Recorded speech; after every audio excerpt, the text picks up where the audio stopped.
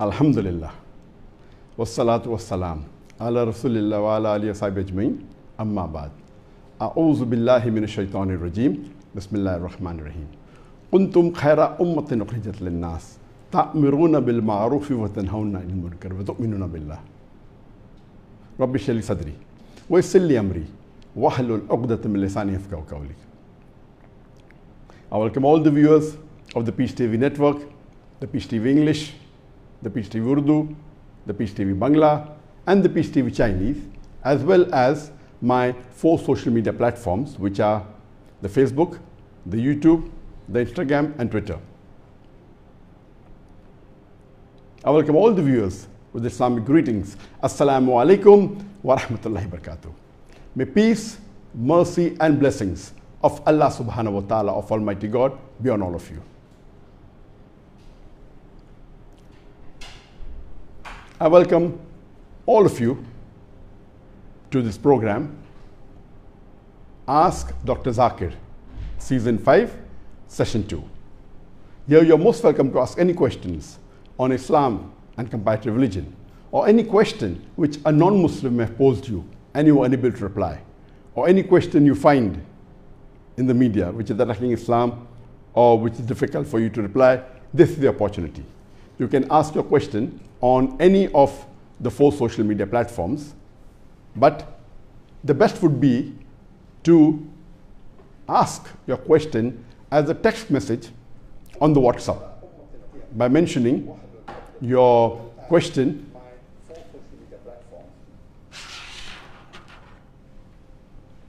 By mentioning your question in brief along with your name, your profession, your city and country of origin to the WhatsApp number plus 60 double one two one double three double three six zero. I repeat plus 60 double one two one double three double three six zero. So if you mention your question on the WhatsApp as a text message, there are more likely chances that it would be accepted. Jazakallah.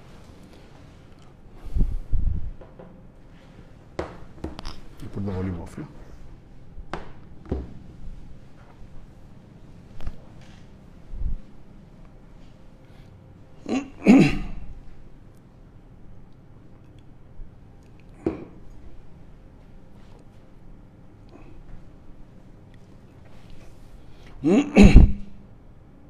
The first question on the WhatsApp is from Firdos Sheikh, a marketing executive from New York, USA. Is it permissible to wish our Christian friends Merry Christmas? A similar question is posed by Khatija Soleiman. She is a university student from London, UK. Can we accept food or gifts from our Christian friends on the occasion of Christmas? A similar question is posed by Sultan Khan from Toronto, Canada.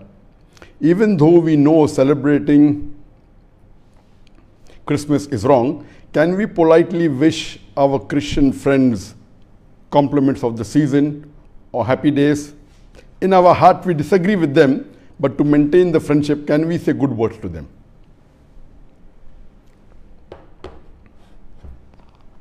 The basic question asked is that can a Muslim wish their Christian friends Merry Christmas, or can they exchange food and gifts on the occasion of Krish, on the occasion of Christmas, or knowing it is wrong, can we politely say some kind words, or can we say happy season, or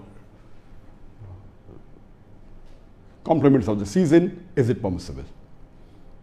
As far as wishing non-Muslims on the festivals, most of the non-Muslim festivals, they involve either shirk or they involve things which are not permitted in our Sharia. So most of the festivals, since they involve shirk or things which are prohibited in our Sharia, but naturally wishing them on things which is wrong is prohibited in Islam. Allah subhanahu wa ta'ala says in the glorious Quran, in Surah Maida, chapter number 5, verse number 2, that help one another in bir and taqwa, in virtue, in righteousness and good deeds, we should help each other. And the verse continues, but do not help one another in sin and transgression. So we cannot help one another, whether it be Muslims or non Muslims, in things which are prohibited, in things which are sin. Allah subhanahu wa ta'ala further says in the Quran, in Surah Furqan, chapter number 25, verse number 72, that those who do not witness things which are false or do not witness falsehood. So here Allah says in the Quran that the true believers, the moment, they do not witness falsehood. So when we wish a non-Muslim in the festivals which is against the Sharia, but natural, we are agreeing to things which are wrong and we are saying that what they are doing is right. It is like we know very well that most of the festivals involve shirk and especially Christmas. So when we wish someone Merry Christmas, what are we saying is that we are congratulating them for the festival of Christmas. And Christmas is a festival which the Christians believe that Jesus Christ, peace be upon him, who they consider to be God or the Son of God, was born on the 25th of December, and they celebrate Christmas as the birthday of their God. Now, when we wish them Merry Christmas, what are we doing? We are actually congratulating them on the shirk and giving shahada and bearing witness, nauz billah, that Allah subhanahu wa ta'ala was born on the 25th of December. So we are actually taking part in the shirk. And Allah clearly mentions in the glorious Quran, in Surah Furqan, chapter number 25, verse number 72, that they do not witness falsehood. Allah says in Surah Ma'idah, chapter 5, verse number 2, that do not help one another in sin and transgression. So when we wish them Merry Christmas, we are giving shahada, we are bearing witness that Nauz Billah, Allah begot a son on the 25th of December, or Nauz Billah, Allah was born on the 25th of December. Both of these things are absolutely against the teaching of Islam. Allah says in the Quran, in Surah Maryam, chapter number 7, chapter number 19, verse number 88 to 92, وَقَالُوا اتَّخَذُوا الرَّحْمَنُ وَلَدًا And they say, Allah has begotten a son. لَقَدْ جِيتُمْ شَيْئًا إِدَّا Indeed, they have put forth a thing most monstrous. that anyone who says that Allah has begotten a son, it is the biggest abuse you can give to Allah subhanahu wa ta'ala. Minnu. If the sky had feelings, it would have burst open. And the mountains would have fallen down to utter ruin. If anyone says that Allah has begotten a son, if the sky had feelings, it would have burst open. The mountains would have fallen down to utter ruin. And imagine we Muslims who claim to be believing in one Allah subhanahu wa ta'ala, believing in Tawheed, against shirk. If we wish them Merry Christmas, we are giving shahada that Allah subhanahu wa ta'ala has begotten a son on the 25th of December. It is one of the biggest sin. That's the reason all, almost all the classical scholars, the medieval scholars, they said it is haram. According to Sheikh, according to Sheikh al-Islam Ibn Taymiyyah, he says that wishing the non-Muslims on their festival is prohibited. Even exchanging food or wearing their clothes or bathing or using firework on the festivals of the non-Muslims, it is prohibited. We cannot even take part in the celebrations. We cannot even wish them on the days. And Shaykh al-Islam Ibn Taymiyyah is very clear that all these things are haram and it is prohibited in Islam. According to Ibn Qayyim, may Allah have mercy on him, he says that wishing the non-Muslims on the festivals, most of which involve shirk and things which are haram, it's totally prohibited in Islam. It is like wishing them. For example, someone does adultery and you're saying, good you have done adultery. Someone is drinking alcohol and you're saying, good you have drunk alcohol. These are all sins. So when you wish them in the festival, you are agreeing with them that what they're doing is wrong and that is totally prohibited. So almost all the scholars that you find, the classical and the medieval scholars, they say it is prohibited. They, today you may find some, you know, some scholars who may say it is permissible because there is no text in the Quran which prohibits greeting them or exchanging gifts, etc. But this is only in small number and they are not following the classical scholars. So according to me, I do agree with Shaykh al-Islam ibn Taymiyyah and Ibn al-Qayyim and most of the majority of the scholars that wishing non-Muslims during the festival is prohibited and all the four uh, and if you read that almost all the classical scholars have prohibited. So according to me, wishing them, wishing the Christians in Merry Christmas is prohibited. Even saying to them good words because you want to be polite to them or saying compliment of the season or saying have a happy day. Wishing good things for the non-Muslims, worldly things, it is permitted. There is no problem at all. But specifically, picking on the days of the festival and wishing them on this festival, this is not permitted because you are going out of the way to wish them on the festival. That means you are encouraging the festival and you are agreeing with the festival, which is prohibited. Otherwise, wishing good things for the non-Muslims, good health, may they have wealth, it's all permitted normally. But specifically wishing them on the festival is actually encouraging them and according to me and according to majority of the scholars, according to majority of the scholars, this is prohibited. Taking part in the celebration or exchanging gifts or wearing good clothes is prohibited. I would go a step further and say that we have many of the Muslims who are businessmen who try and do more business during the festivals of the non-Muslims and they have a Christmas sale, then they have a Diwali sale, thinking they'll do more business. According to me, even this is prohibited. The moment it's a Christmas sale, that means you're agreeing with Christmas. That means you're agreeing that Allah subhanahu wa ta'ala, nauz billah, begotten a son on the 25th of December.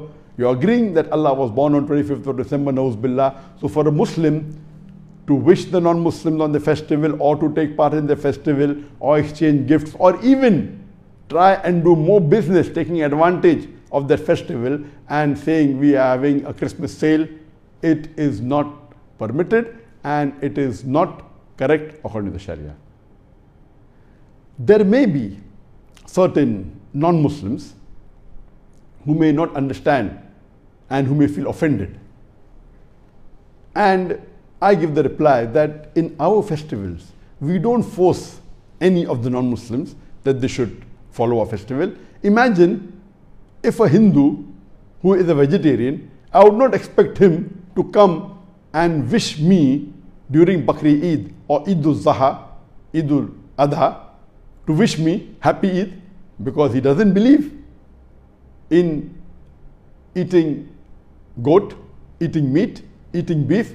So I would not be offended if he does not come and meet me happy Eidul Adha. Imagine if I tell all the Hindus, even though you are a vegetarian, which many are, you should come and wish me on Eid al-Adha, they will be offended. How can they wish me on Eid al-Adha, which, uh, and we know that in Eid al-Adha we sacrifice a goat or we sacrifice a cow, and this they think is wrong. So I respect their views. So similarly, a non-Muslim should respect my views. I expect the Christian to respect my views.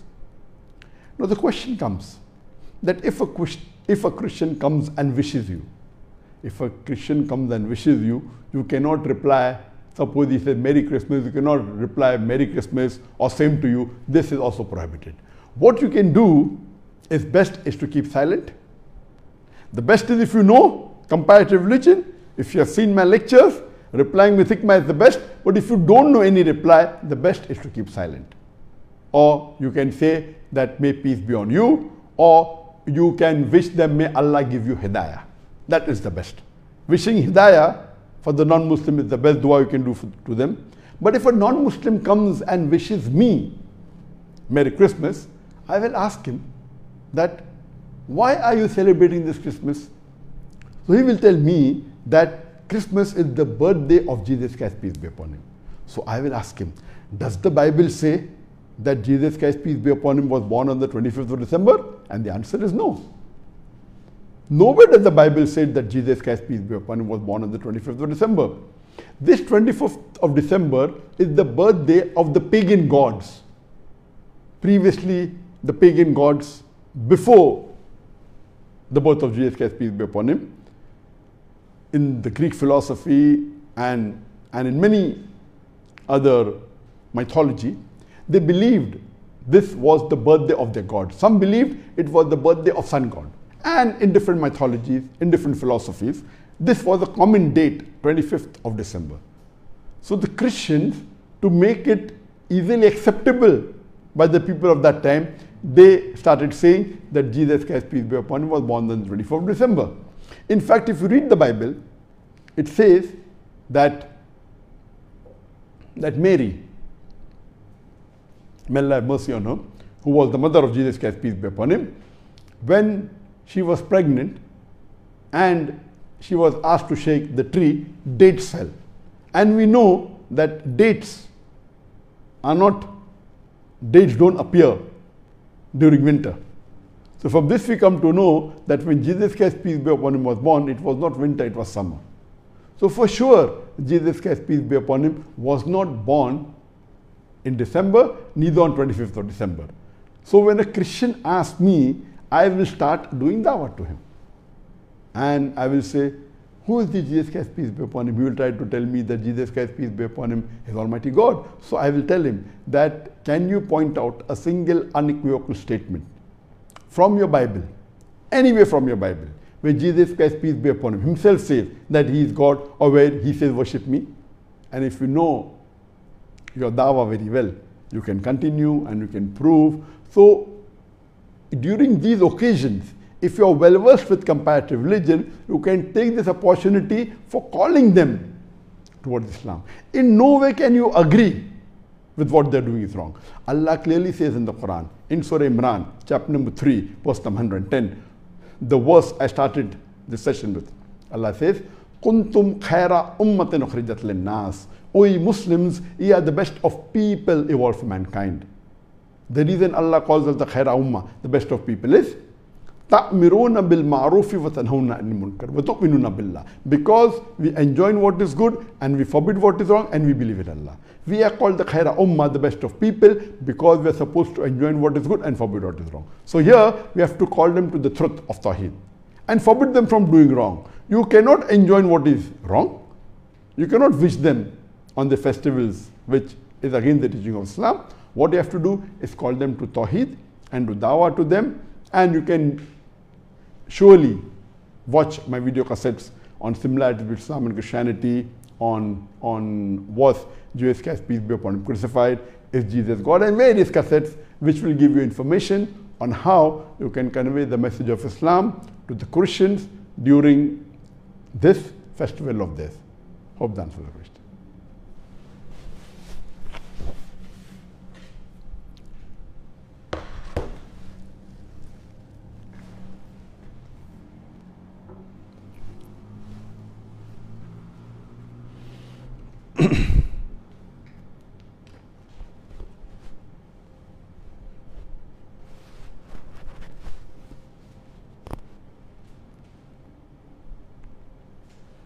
The next question from Ashikul Islam, a student from Dhaka, Bangladesh. Assalamu alaikum, sir.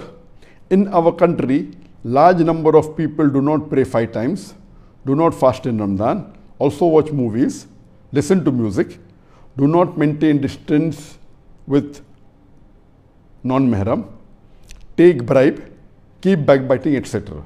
They know these are not permitted in Islam, but they continue. They think they will be good practicing Muslims when they reach the age of 50 to 60 years. And then they will make tawbah. My question, will their tawbah be accepted by Allah even if they get a chance to do tawbah? Will they go to Jannah? What does Islam say about them?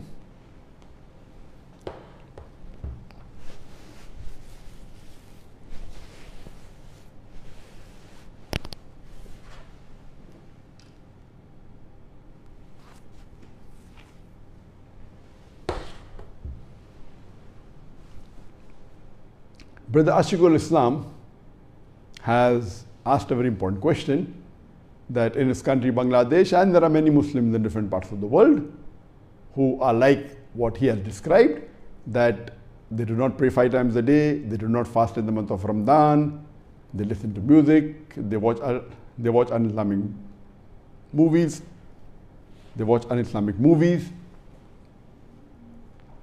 they do not maintain the hijab, they bribe, they do backbiting, etc. And though these Muslims know very well that these are not permitted in Islam, many are major sins, and others are also sins in Islam, they think that let them enjoy life, they will continue doing it, and inshallah, when they reach the age of 50 or 60, they will do tawbah and they know Allah is Rahman or Rahim, is Ghafoor or Rahim. He will inshallah forgive. So the question posed by Brother Ashiqul Islam is that will Allah accept the tawbah if they have planned in such a way? Will they go to Jannah? What is the guidance to be given to them? Point number one, that if a Muslim knows that praying, not praying five times a day is a sin, not fasting in the month of Ramadan is a sin, listening to music, not doing hijab, bribing, cheating, backbiting, if these are sins, and he continues doing them thinking that before dying, maybe at the age of 50 or 60, he'll do tawbah and let him enjoy life now, and Allah is Rahman or Rahim, Ghafur Rahim, He will forgive. So th they think they are smart. But I would tell them they are basically very illogical. The reason is that what guarantee can any human being give that he will live till the age of 50 or 60? I'm aware that average lifespan of a human being in the world is approximately 75 years. For the gents and for the females, it is about 79 to 80 years. But there are chances that you may die before the age of 50, maybe at the age of 20 or 25 or 30 or 40, possible.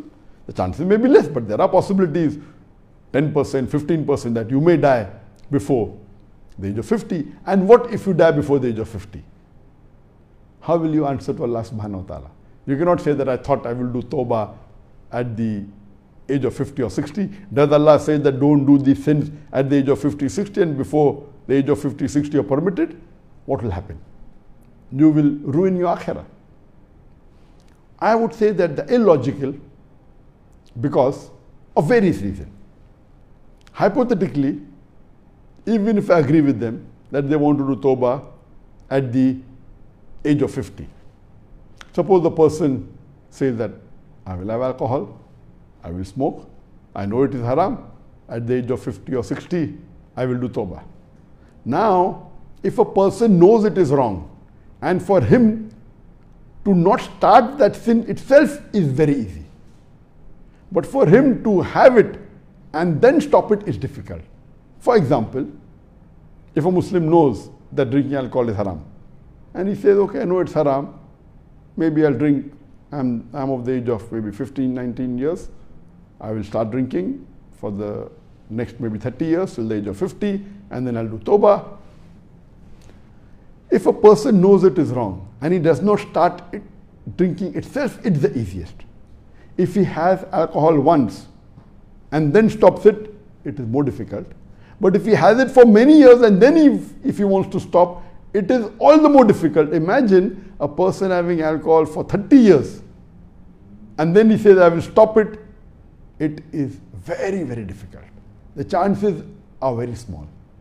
And for tawbah to accept it, one of the criteria is that if you stop the sin. If you know it is wrong, you're drinking alcohol for 15, 20 years, 30 years, and then you say that you will stop it. This, the chances that you'll be successful is very small the chances you'll be successful is very little. And that's the reason I would say that he is illogical. The moment you realize it is wrong and you stop it, that is the easiest. And earlier you stop, the better it is. There's one more criteria for repentance to be accepted by Allah subhanahu wa ta'ala is that you have to undo it if you can. Imagine if you have been involved in bribing, if you have been, if you have been involved in backbiting, and you are bribing for so many years, and then you said, okay, in bribing people, I get a lot of benefits, I make a lot of money. At the age of 50 or 60, I will stop. So for 30, 40 years, you have been bribing, and once you agree it is wrong, then you say you stop it. One of the criteria for repentance is you have to undo it. Now, how can you undo it? Imagine if you have bribed so many people and have taken the rights of so many other human beings. Is it possible that all the 50 years that the people you have deprived and the people you have sinned against, will you be able to undo it? And the reply is no. That is the reason I feel that the person who knows it's a sin and if he plans to stop it after 50 years, he is one of the most illogical person. Because for repentance to be accepted, there are five criteria. Number one, agree what you're doing is wrong. Number two, you have to stop it immediately. Number three, ask for forgiveness and repentance. Number four, you have to undo it if you can. And number five, don't do it in future. So if you do all these five things and you sincerely ask for forgiveness, inshallah Allah will forgive you. Regarding the questioner, that if these people reach the age of 50, will Allah forgive them? And the answer is, if they sincerely repent, Allah will forgive them. But what is the chance that they will reach till the age of 50? What is the chance that they'll be sincere in asking forgiveness? What is the chance that they will be able to stop it? Once you're addicted to most of the sins, whether it be alcohol, whether it be smoking, whether it be bribing, stopping it after doing it for 30, 40 years is extremely difficult. So that is the reason I say it would be illogical for a person who knows it's a sin, who knows it is haram, to do it and then say, I will stop it at the age of 50 or 60. But regarding your question, will Allah forgive them? Allah says in several hadith that if any of his servants sin the full night and if they ask for forgiveness in the morning, Allah will forgive them. If a servant sin the full day and ask for forgiveness in the night, Allah will forgive them. There is one hour in the night towards the one third of the night before sunrise, before the time for dawn, that Allah subhanahu wa ta'ala asks, Is there anyone who wants anything? And if anyone asks for forgiveness, inshallah Allah will forgive them. Allah is Ghafurur Rahim. But will Allah forgive them? Inshallah. But the question is, what are the chances? It is very illogical. And I'd like to give you a few examples. For example, if you're suffering from a disease, and the doctor will tell you you're suffering from a disease, or you have a problem in your colon, or you have a problem in the kidney, you'll not say, okay, no problem, I will continue living till the age of 50, and then you do the operation. You will see to it it's done immediately because you know there are chances that you'll die before that. You may not live till the age of 50. It's illogical for you to say that you want to postpone. And you know that while doing the operation, there may be certain pain, there may be certain discomfort. But what you will say, okay, the discomfort will be for maybe for a few minutes, or maybe for a few hours, or maybe for a few days. But compared to your life that you live for approximately 75 years, and if your remaining life may be approximately 40 years, if you have discomfort for a few days after the operation, you wouldn't mind that discomfort as long as your balanced life is pain free. Or if someone says, I want to give an injection to cure your illness, you know when the injection is given, you will feel the prick of the needle. It may be for one second, it may be for two seconds while the medicine is going in. But you know that the pain for that one second or two second or few second compared to the balance of your life, which is 50 years, 60 years, 70 years, is negligible. So similarly, if you compare this life that the average human being lives for about 75 to 80 years as compared to the hereafter, the life in the hereafter is eternal. So if you compare, even if you live up to the age of 80 or 90 or 95, compared to the hereafter, it is 0.0000000, I don't know when will the one come. It is a small fraction of a fraction of percentage of the next life. The next life is eternal forever, abadan. And this life, whether you live for say 70 years, 80 years, 90 years, even 100 years. It is absolutely negligible. It is not at all comparable. So, would you not mind undergoing, if you feel it is uncomfortable, following all the commandments, or is discomfort, staying away from the haram? But compared to the next life, it is 0.00001%. Nothing. So logical person would say, I wouldn't mind this discomfort if it's a discomfort. If I agree with you, it's a discomfort. And following the commandments of Allah and staying away from the sin as long as in the akhirah you go to Jannah. I'll give you one more example. That if there is a tumor, a tumor is an excessive, an abnormal growth of cells. People say cancer, that word is tumor. There are two types of tumor. One is the benign, which is non-cancerous tumor, and the other is a malignant tumor or a cancerous tumor. The difference between the two is that the benign tumor, it grows very slowly. It does not normally cause harm to the body or very little harm. It cannot cause death. The malignant tumor, which is the cancerous tumor, it grows very fast it has metastasis, it spreads in the body, it causes damage to the body, and there are chances you can even die. So, if you give an example or analogy, I would say that the malignant tumor or the cancerous tumor are the major sins, and the benign tumor are the minor sins. A good, intelligent person the moment he comes to know there is a benign tumor, so you will see to it that he removes it. So when you know you are doing any sin, whether minor or major, you, minor sin, you stop it. If you know it's a major sin, then all the more reason you will be sure that you will see to it that you remove it as soon as possible. You will not say that when you come to know that you have a tumor, tumor which is malignant, which is cancerous, you will not say, okay, cancerous tumor, it's only in the first stage. You know, I've got many years, 10, 15 years, let it go to the third stage, fourth stage, and that time I'll remove it. People will say you are ignorant. If you come to know there is a malignant tumor, and if you come to know at an early stage, immediately you stop it. If you know that you will do certain things and get this malignancy, you will avoid it. That's the best. But if you happen to have the malignant tumor, you'll see to it that you have the treatment immediately so that it will not cause damage to your body, it will not cause you death. So the major sins are like a malignant tumor. They are like cancer. And the minor sins are like the benign tumor or the benign cancer.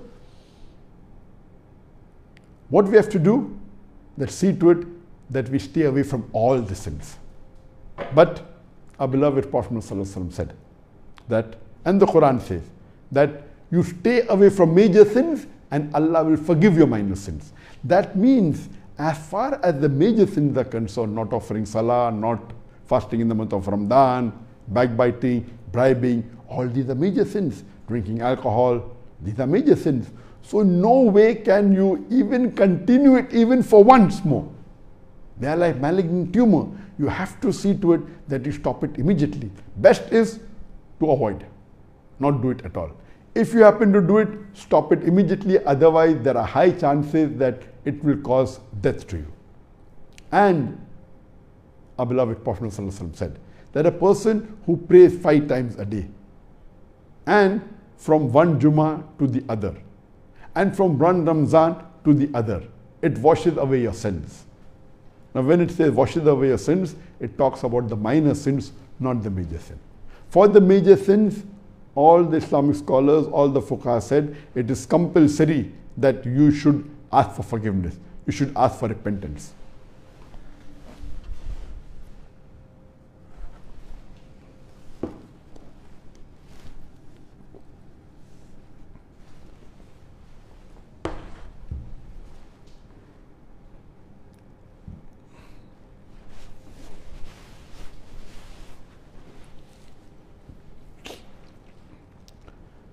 So for a Muslim, he should abstain from all sins.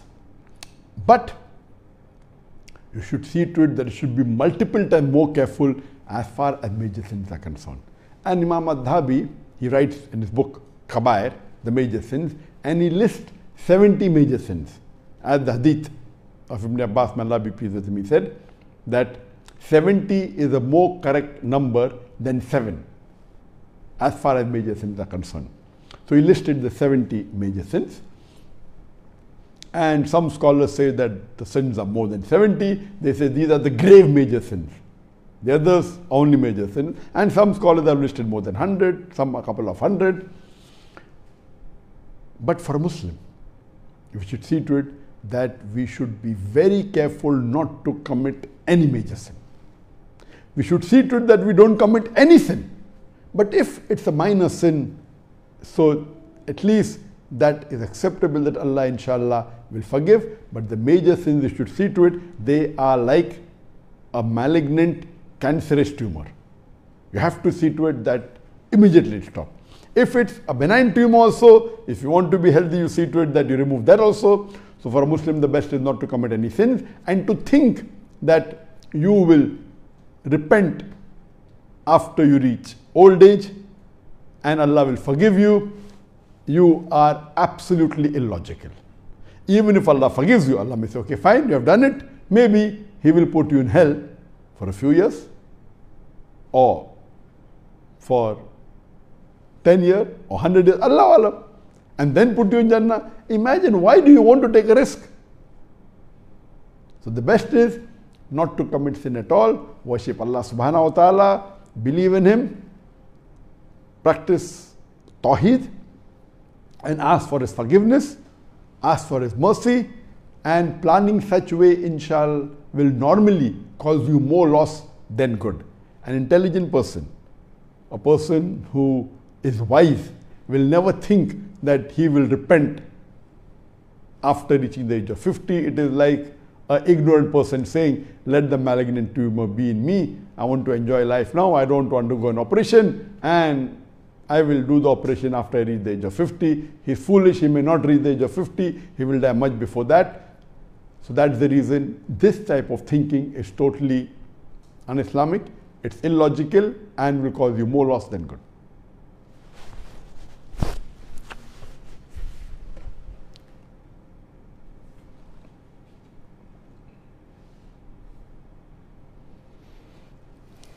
The next question I am Muhammad Asif Hassan. I am from Dhaka, Bangladesh. I am a student. Allah said to lower your gaze when you see a woman to protect your modesty.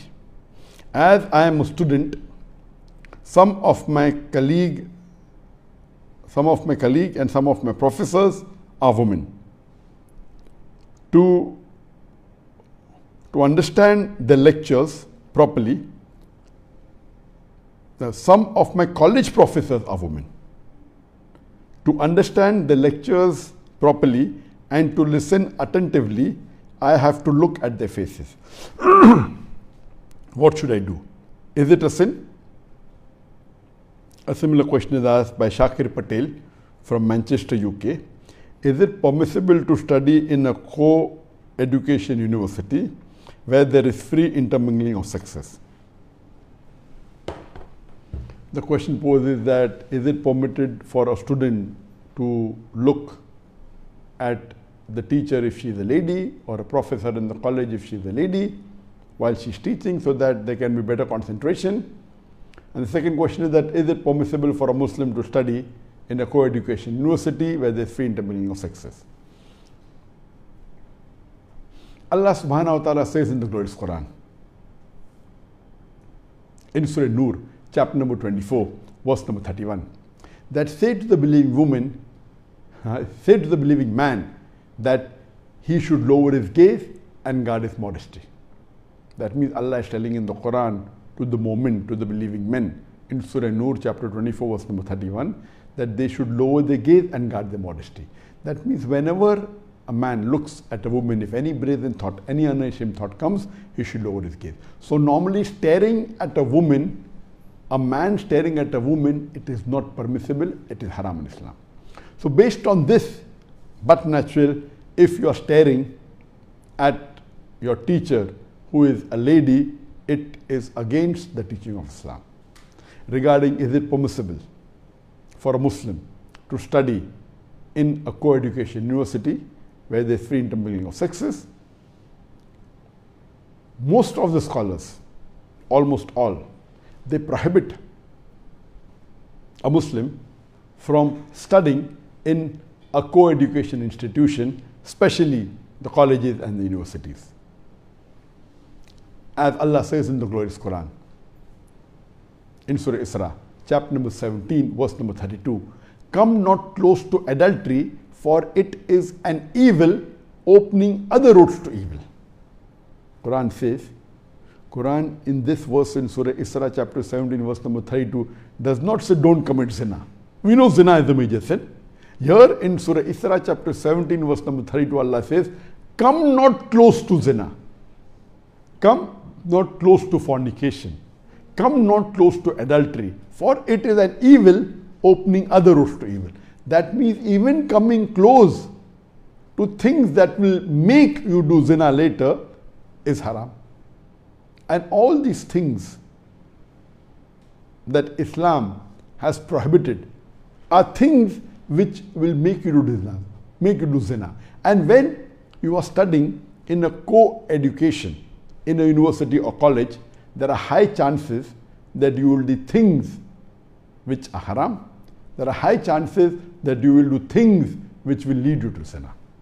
According to the research in the Western countries, a lady, by the time she passes her university, according to statistics of USA, 95% of the women, by the time they pass the university, they lose their virginity.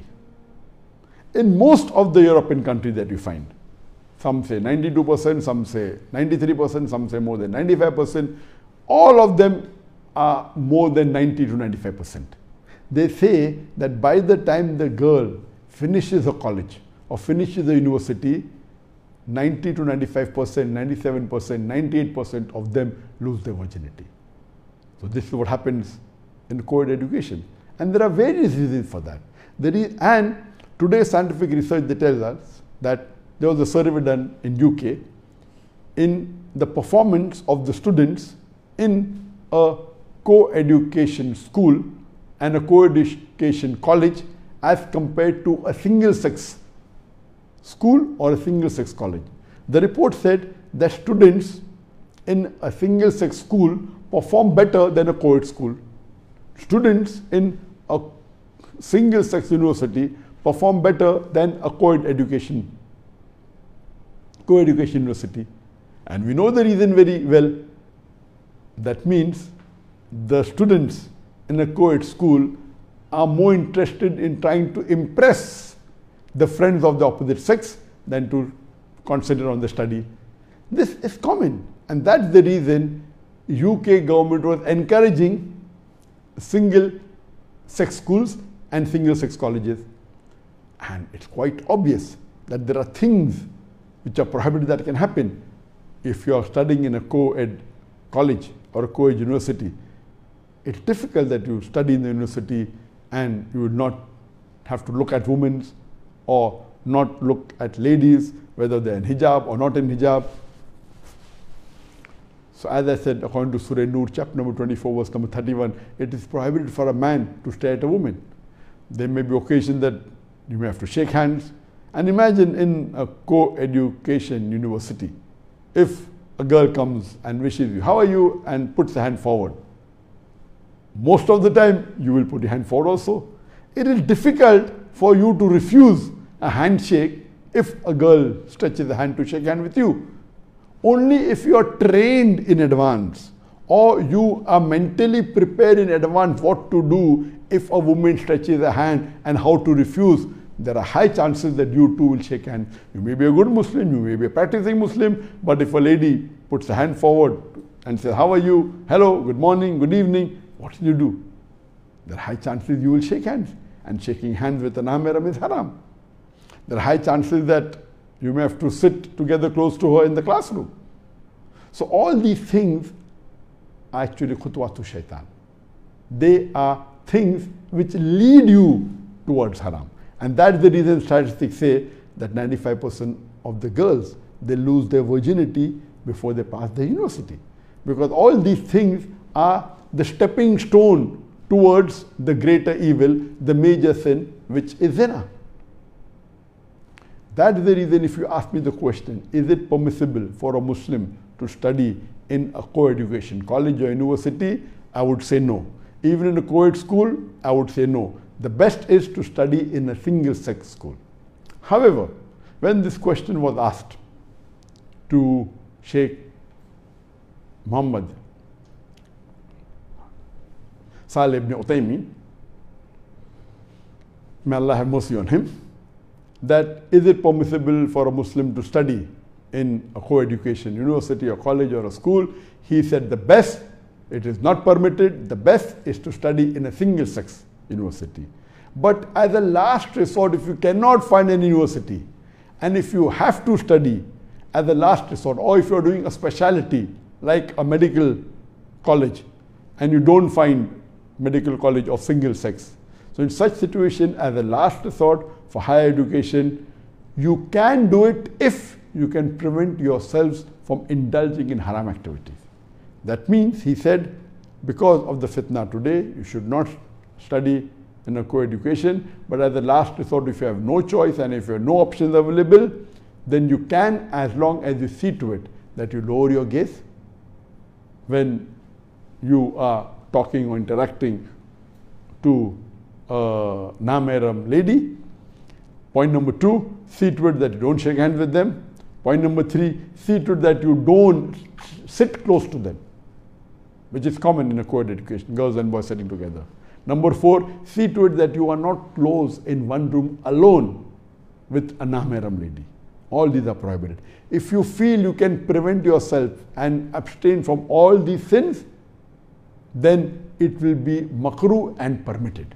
Makruh yet, because high chances of deviating. But if you feel that once you join this institution and you cannot abstain from looking at the woman or you cannot abstain from shaking hands with them or talking with them unnecessarily, which is not required, or being with them alone. If you cannot avoid this, best is you leave that university because your deen is more important. Going to Jannah is more important than getting a degree.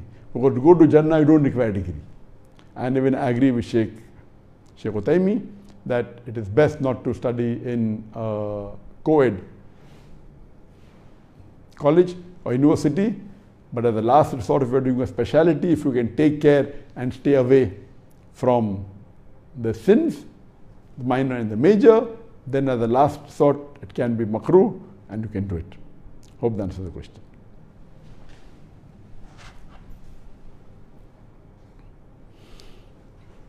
In the Facebook, we have Zubair, God protect you, Sheikh, Jazakallah. Raziur Rahman, love from Bangladesh, I love you too. Saman Rashid, great respect for you, sir. Munawwar Hussein Ismail, Assalamu alaikum wa barakatuh. Wa alaikum assalam wa barakatuh. Walid Ahmad from Pakistan. Abdul Moez.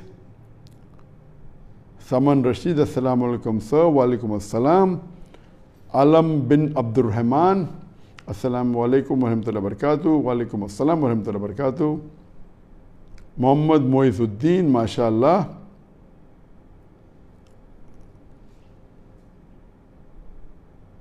From Bangladesh, how to watch Peace TV channel in Bangladesh.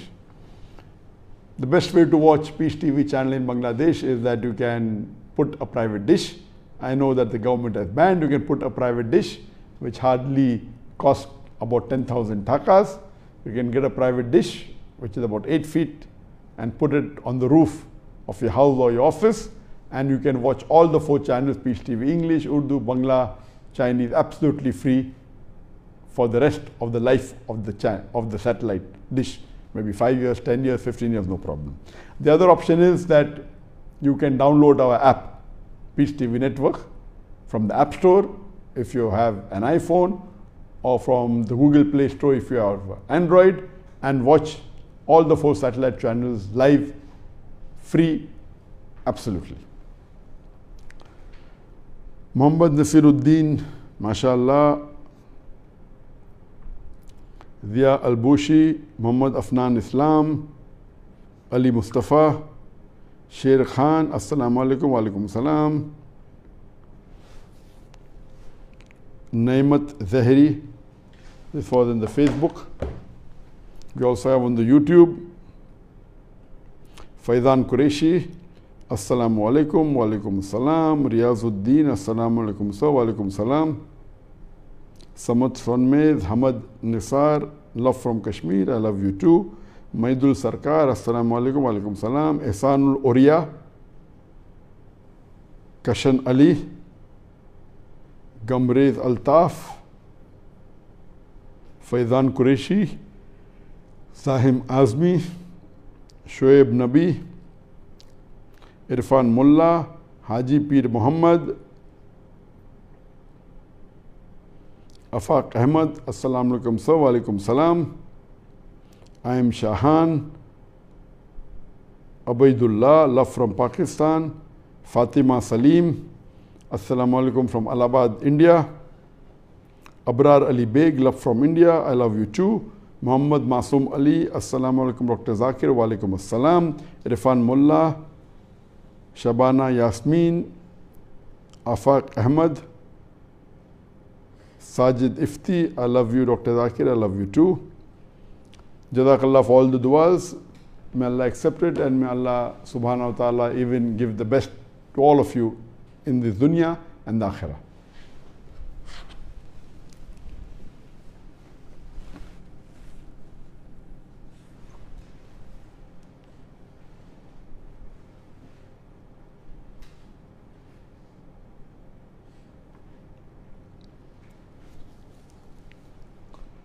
The next question. My name is Hussein Abdullahi. I am from Kenya and I am a student. What is the best reply that can be given to a Christian who usually asks, Will Islam make me a rich person? Question asked is that what will you reply to a Christian friend who says that will Islam make me a rich person? we have to first try and find out what do you mean by rich? What is true richness? What is true wealth? And secondly, what type of richness are you talking about? Is it temporary or is it permanent? And who is the person? Who is the best person who can give you the riches and the wealth? The best is Allah subhanahu wa ta'ala. Allah subhanahu wa ta'ala is the owner of the whole universe.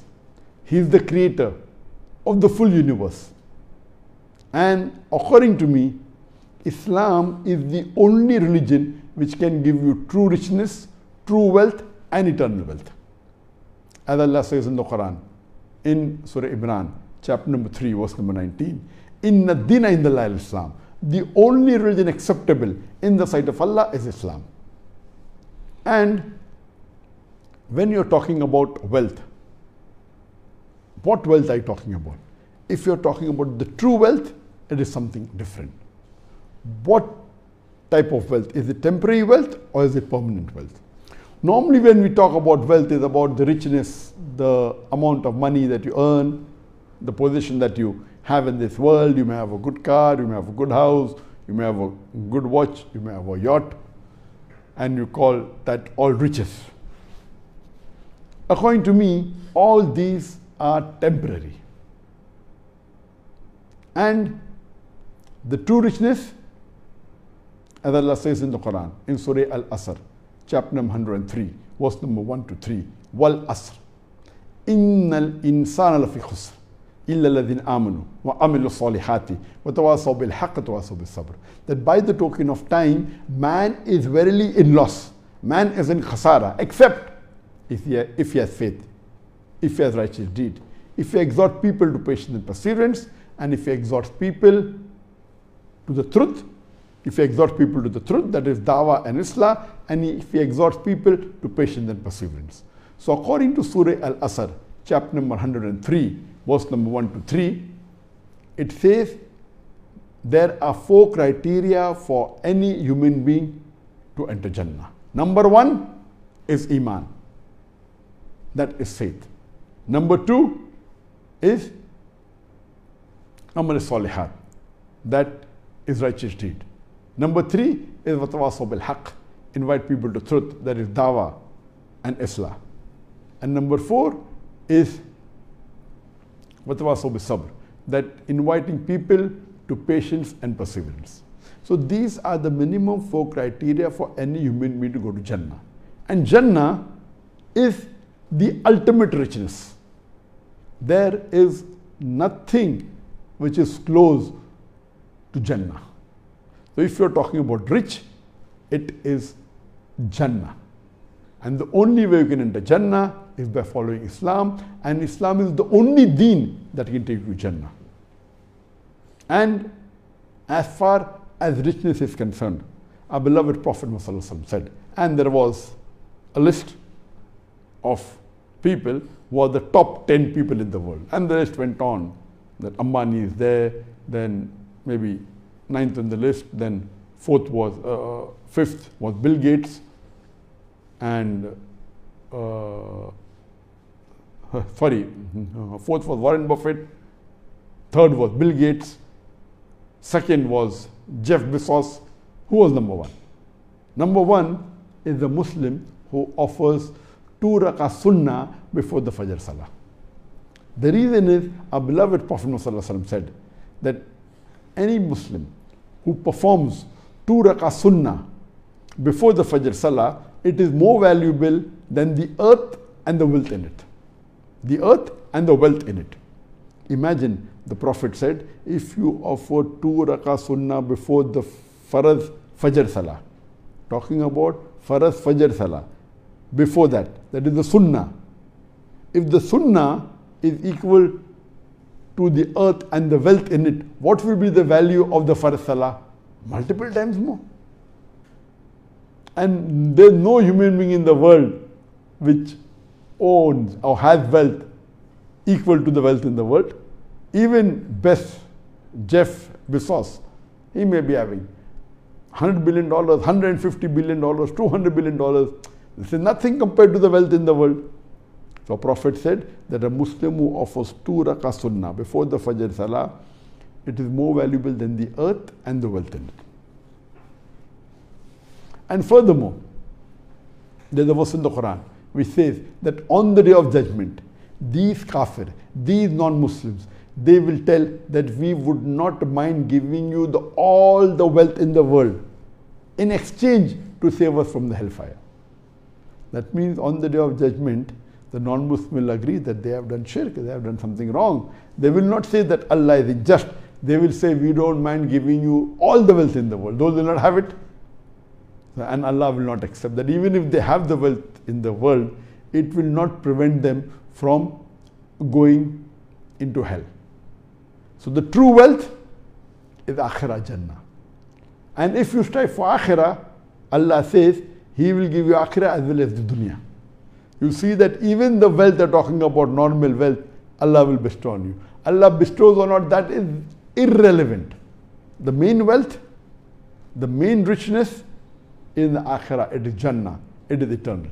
Therefore, the only way you can enter Jannah is by being a practicing Muslim, having Iman, having righteous deed, exhorting people to truth, and exhorting people to patience and perseverance.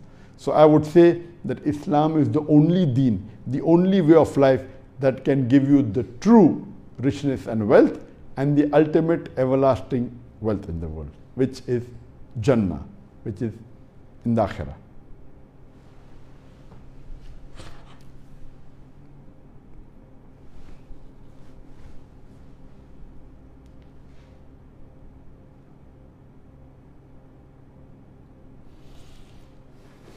The next question.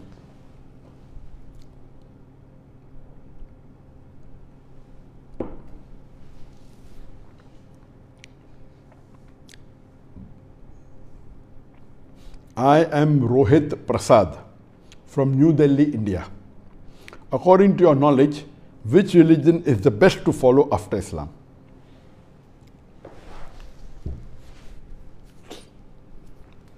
It's a very important question. That which is the best religion to follow according to me after Islam?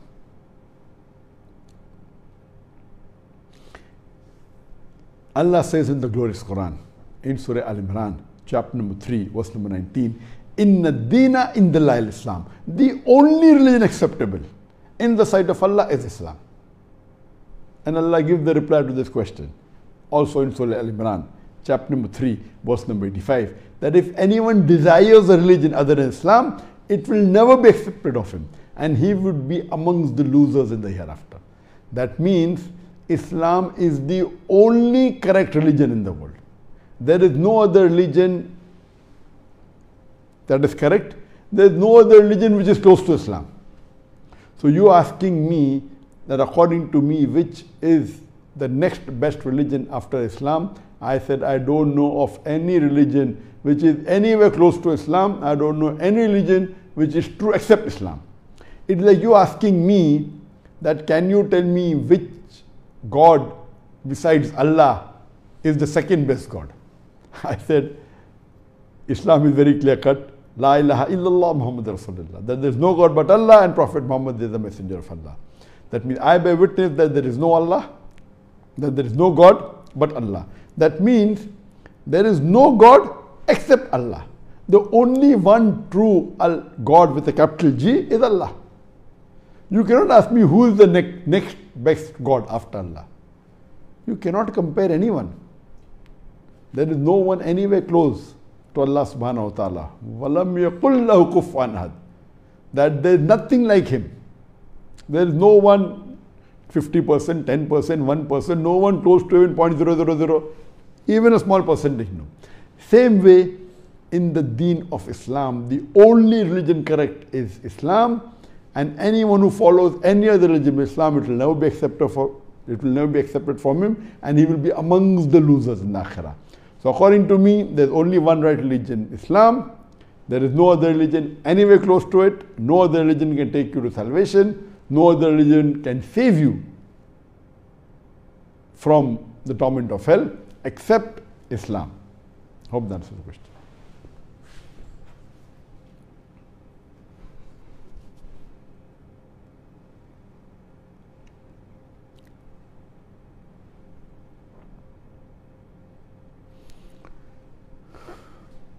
The next question. Assalamu alaikum, sir. Ramiz Rahman from West Bengal, India. Is wearing shorts while playing football haram? The question posed is that can we wear shorts while playing football? Is it haram or is it permissible? As far as wearing shorts is concerned, your shorts should cover the aura. That is, the minimum private part that should be covered. The aura in the male for the Muslim man, it is from the navel to the knee. There are differences of opinion regarding whether the navel should be included or not, whether the knee should be included or not, according to the Hanafi school of thought, even the knee is included in the aura all agree it's from navel to the knee. The Hanafi school of thought, even the knee is included. According to Imam Shafi and Imam Malik, they say that only that which is between the navel and the knee is the aura, should be covered. Means the navel doesn't fall in the aura, neither the knee falls in the aura. But this is just a small difference. We agree that the right ruling is the right ruling is it is between the navel and the knee. The navel and the knee don't come in the aura. This is the correct opinion. But I would rather say that for safety, it is preferable that you cover your navel as well as the knee because if you're going to play football or if you're going running or if you're wearing shorts for sports, your short should be long enough to cover the aura that between the navel and the knee.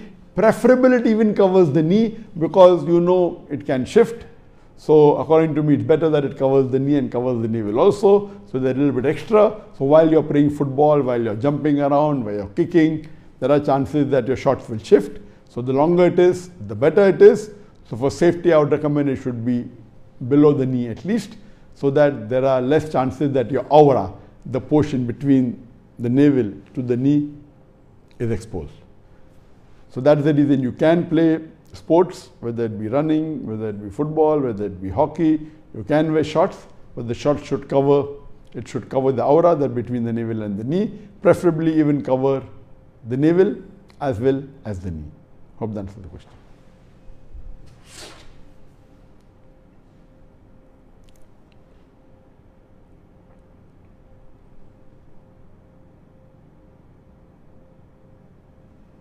Assalamu alaikum. I'm from Bangladesh. Is it a sin if a man did not tell his first wife before marrying a second wife?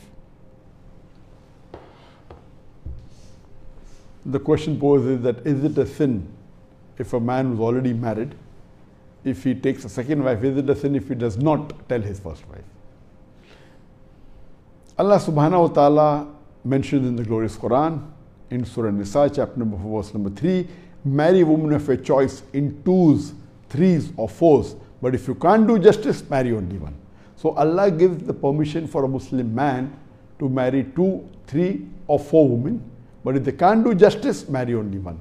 So in Islam, it is permitted to marry up to maximum four wives.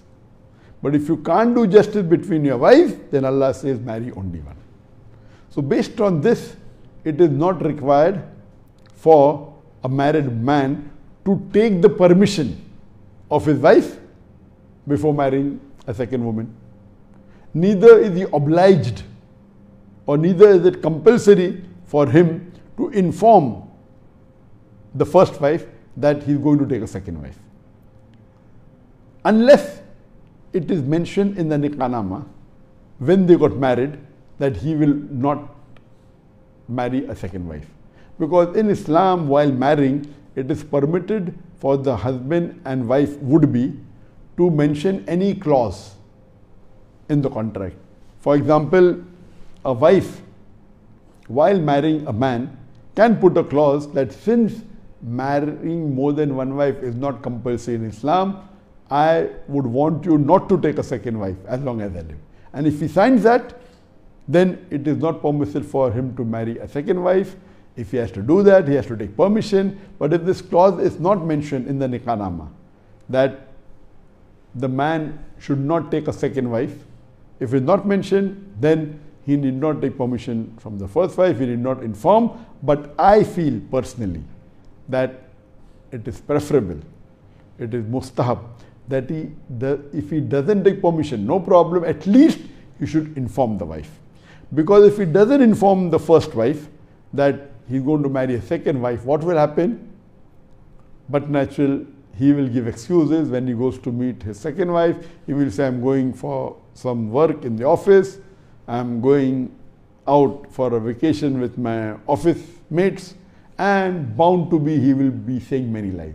So, according to me, though it's not a fard for a man to take permission from the first wife or inform the first wife before he's marrying the second wife, I would personally feel it is preferable at least that he informs her so that there is less sins or lying, etc., after he married the second wife. And but naturally, if a man marries more than one wife, he should see to it that he should do justice between both the wives. If he cannot do justice, then it is not allowed for him to take a second wife. Hope that answers the question.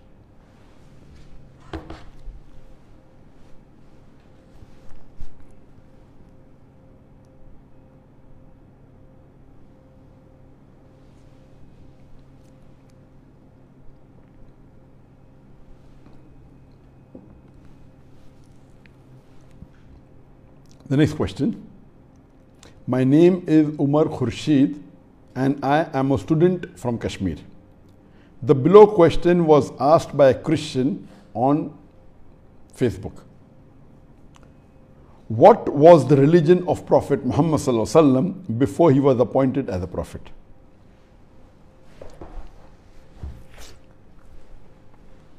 Before I reply to this question, I would like to remind that most of the non-Muslims and even some of the Muslims have a misconception that Islam is a new religion that came into existence after Prophet Muhammad, peace be upon him, and they believe that Prophet Muhammad, peace be upon him, is the founder of the religion of Islam. Let me tell you, Islam is there since time immemorial, since man set foot on this earth.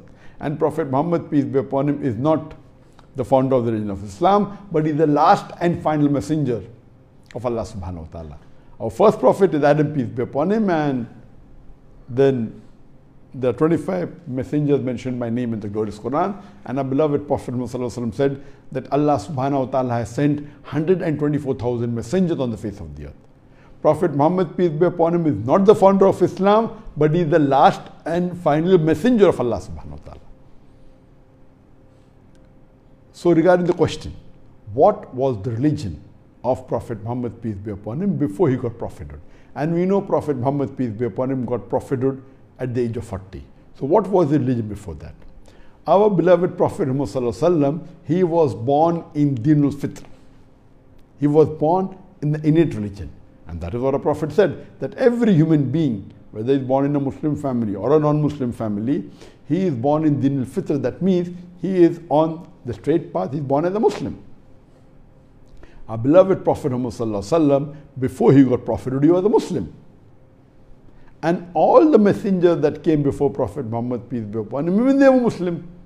Allah says in the Quran in Surah Imran, chapter number 3, verse number 52, that Isa salam, he was a Muslim. Allah says in the Quran in Surah Imran, chapter 3, verse number 67, that Abraham, peace be upon him, he was not a Jew or a Christian, but he was a Muslim. So, our beloved Prophet Muhammad, before he became a prophet, also was a Muslim people think that Islam came into existence after Prophet Muhammad, peace be upon him, and after the Quran. No, it's there since time memorial, but Prophet Muhammad, peace be upon him, is the last and final messenger. And Allah says in the Quran, in Surah Maida, chapter number 5, verse number 3, On this day have I perfected religion for you, and have chosen for you Islam, and have completed my favor on you. So this verse of the Quran, Surah Maida chapter 5 verse number 3 is the last verse to be revealed in the Quran or one of the last verses to be revealed in the Quran. And from this we come to know that Prophet Muhammad was the last messenger.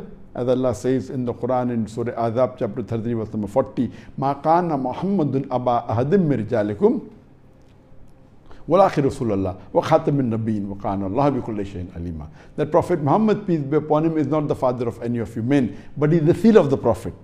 And Allah is all-knowing, full of wisdom. So Prophet Muhammad, peace be upon him, was a Muslim. He believed in Tawheed, he believed in one God. But at the time of the Prophet, majority, almost all the Arabs, they were pagans, they were idol worshippers. And Prophet Muhammad, peace be upon him, came from the tribe of Quraysh. And the Quraysh was known to have believed in a pantheon of gods. They believed in many gods. But they also had the key to the Kaaba and the Kaaba housed many gods. So this was at the time the Prophet, the tribe Prophet came to, they were mushriks, they were, mm, they were not Muslims, but Prophet Muhammad, peace be upon him, he specifically, mashallah, he was a Muslim. Muslim means a person who submits his will to Almighty God. And Prophet Muhammad, peace be upon him, before he became a prophet also, he submitted the will. And all the prophets of God, they were Muslim as I quoted to you, that Isa salam was a Muslim according to Surah Imran chapter 3, uh, verse 52. Abraham salam was a Muslim according to Surah Imran chapter 3, verse 67. And Prophet Muhammad, peace be upon him also, he was a Muslim. And during prophethood, at the age of 40, he became a prophet of Allah subhanahu wa ta'ala. Before that, he was a Muslim. After the age of 40, when the verses were revealed, he became a prophet of God and he guided the people, the humankind, from darkness to light. As Allah says in the Quran, in Surah Anbiya, chapter number 21, verse number 107, Allah says, Wama arsalnaka illa rahmatul alamin." That we have sent thee not but as a mercy to the whole of humanity, as a mercy to all the world, as a mercy to all the creatures. Hope that answers the question.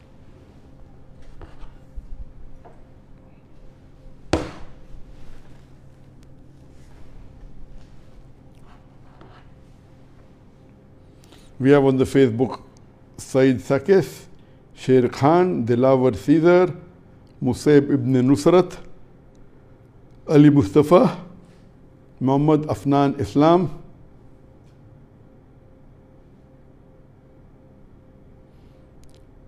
Zia Al-Boshi, Javed Hussain, Abdul Hussain, Umar Anas, Nadira Rasamallah Otara, Muhammad Nasiruddin, Abdul Bakir, Abdul Moiz, M.H. Hussain, Muhammad Moiz Uddin.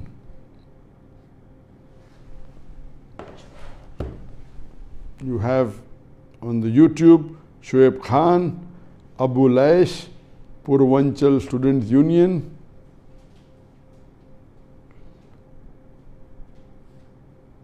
Tasmia Podan, Sayyid Faisal,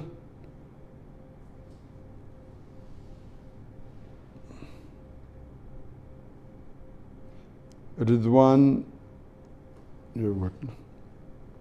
all these are from the YouTube.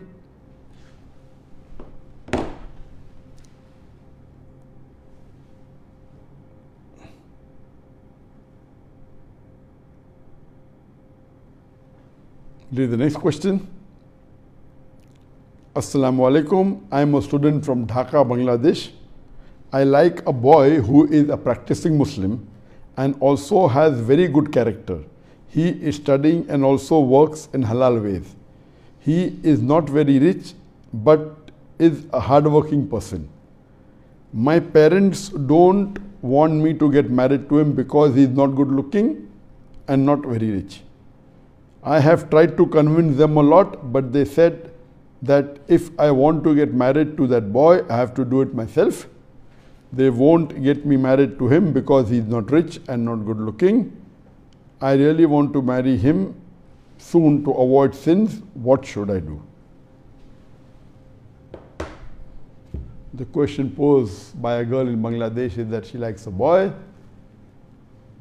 and she thinks that he is Islamic and follows halal way, etc. But her parents aren't agreeing because they say that he's not rich and he's not good looking. But the girl wants to marry him because she thinks that he's the one who bought her, uh, that he, she thinks that he's on the straight path and she thinks that he's a practicing Muslim in the halal way. So what should be done? Such type of questions where a girl or a boy wants to marry someone and the parents are not agreeing is very common. Let me tell you that if the girl is saying that the boy is good and the parents are saying boy is not good, generally the chances are 50-50 both can be right. Either the girl or the boy in simple calculation.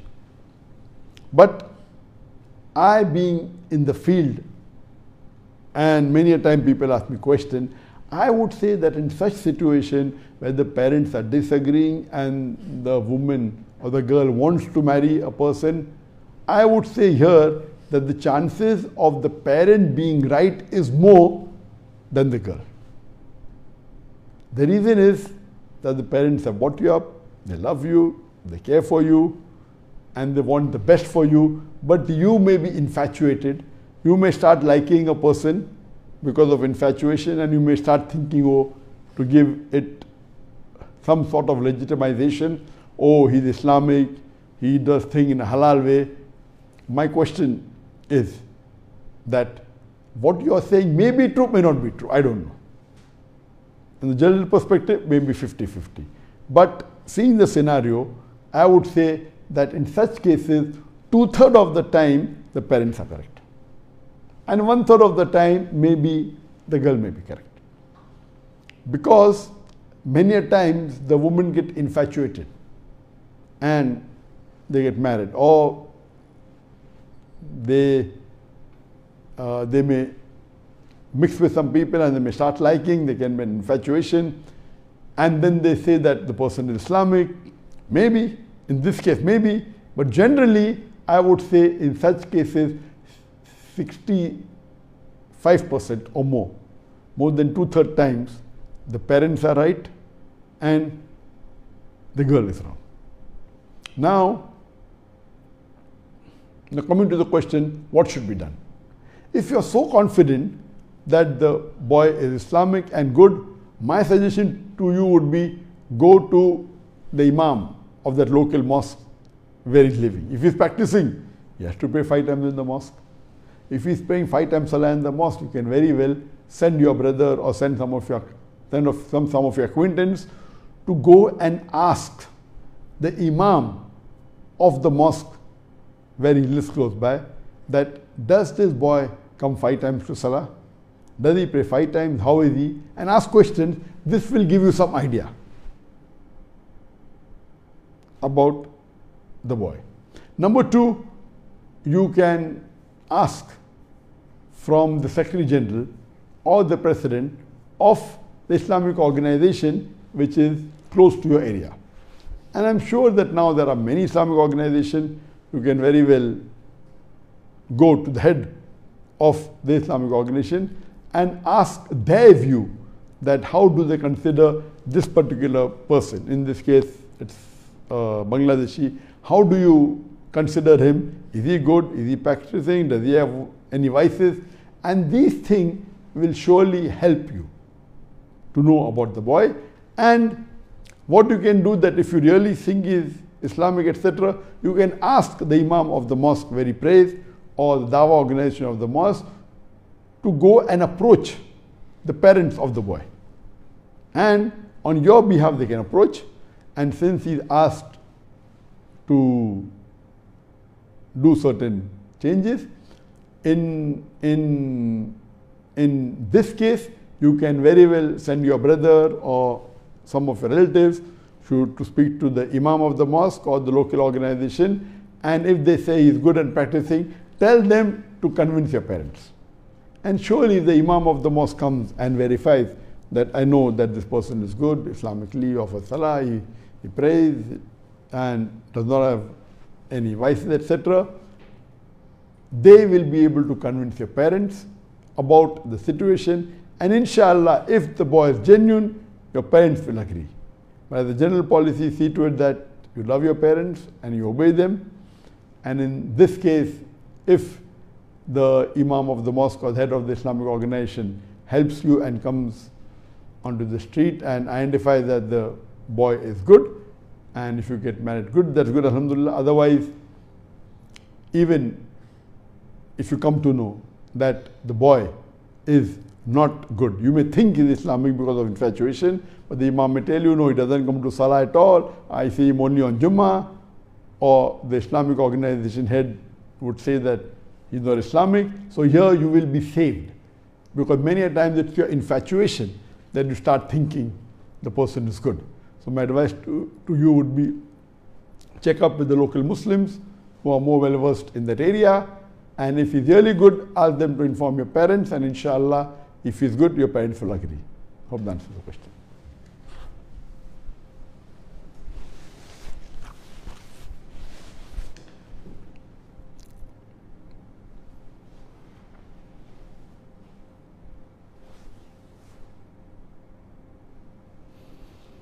The next question.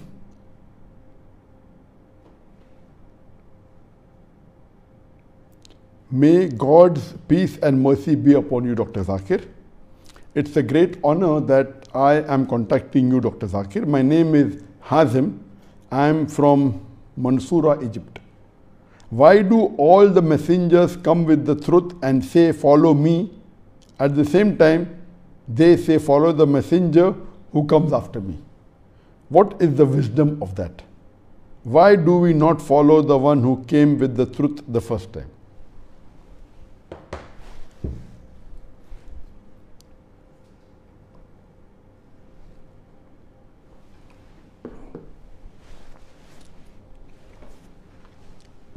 The question posed is very important, and this question is asked by many non Muslims also that why do the messengers, when they come, they say, I speak the truth, and you follow the messenger to come after me. Why don't we have only one messenger who came at the first who was truthful, and that's it. and many non-Muslims also say that why Allah sent so many messengers, and there's confusion, etc. He should have said first messenger, only one messenger, and the problem would be solved. It is like when you go to school, you attend the first standard, and the teacher teaches you, and, uh, and you agree the teacher is correct, the teacher is truthful. Then the teacher says, now one year has passed, next year, next year, you'll be going to standard 2, and you have to follow the teacher of standard 2, and he's also very good, and listen to him, he's truthful. Then you go to standard 2. Then after the second year is over, the teacher will say, okay, now you have passed standard 2, now go to standard 3. Imagine you come and say that why is the, I'm going to standard 1 first, then finishing standard 1, then the standard 1 teacher is saying go to standard 2, then standard 2 is saying go to standard 3. Why doesn't the teacher in standard 1 teach me about the portion of standard 10th in the first year itself? Why should I wait for 10 years? And the reply would be, it's illogical. Because the child who, who admits himself to standard 1 is of the age of 5 or 6, he cannot comprehend what is taught in standard 10. So what does he do? He first studies what is according to his level and the teacher teaches him. Then the teacher says you go to standard 2. Then standard 2 teaches him because he's grown more matured. In this way, every year he keeps on passing and after 10 years he reaches standard 10 and then studies about standard 10. He cannot say that you teach me of standard 10 in the first level only when I'm at the age of 6 and that will be the best shortcut, no confusion. No, because the child is not able to grasp. Similarly, Allah subhanahu wa ta'ala on the face of the earth sent 124,000 messengers. And the last and final messenger was Prophet Muhammad, peace be upon him. Allah subhanahu wa ta'ala has sent several revelations before. Allah says in the Quran in Surah Ra'd, chapter number 13, verse number 38, that وَقُلِّنْ أَجْلٍ kitab, And in every age have we sent a revelation. By name, there are only four revelation mentioned in the Quran. The Torah, the Zabur, the Injil, and the Quran, that is the Furqan, the last and final revelation. But there were many other revelations sent for, for example, Suhuf, Ibrahim, etc. Similarly, in the Quran, there are 25 messengers mentioned by name Adam, Noah, Abraham, Moses, Jesus, Muhammad, peace be upon them all. But the beloved Prophet said there were 124,000 messengers sent on the face of the earth. All the messengers that came early were only meant for those people in that time. But Prophet Muhammad, peace be upon him, was the last and final messenger meant for the whole of humanity. So the reason Allah subhanahu wa ta'ala revealed the Quran, the last and final revelation, and sent the last and final messenger, Prophet Muhammad, peace be upon him, approximately 1400 years ago, because Allah is our creator, He knew that if this message was revealed maybe 5000 years back, 10,000 years back, humankind were not developed enough to grasp it. Allah is the creator of human beings. He knows that 1400 years ago is the right time that the human being could understand the message and absorb it and implement on it. That's the reason he sent the last and final revelation, the Quran, 14 years ago, and he sent the last and final messenger, Prophet Muhammad, 14 years back. You cannot say that why did Prophet Muhammad, peace be upon him, did not come instead of Prophet Adam. At that time, the people would not be able to understand and grasp the message of Islam. As time went on and human being developed, Allah is our creator, He knows very well, He has ilm ghaib, He revealed the Quran at the right time when human beings could absorb it and send the right messenger, the last and final messenger. And then the Quran says in Surah Ma'idah chapter 5 verse number 3, on this day have I perfected my religion for you and have chosen for you Islam and have completed my favor on you. So Allah subhanahu wa ta'ala in his divine wisdom, he knew when to reveal at what time. That is the reason he kept it at the right time 14 years back. It is illogical for us to say that why didn't he send the first messenger and the Quran before the human being would not be able to grasp it.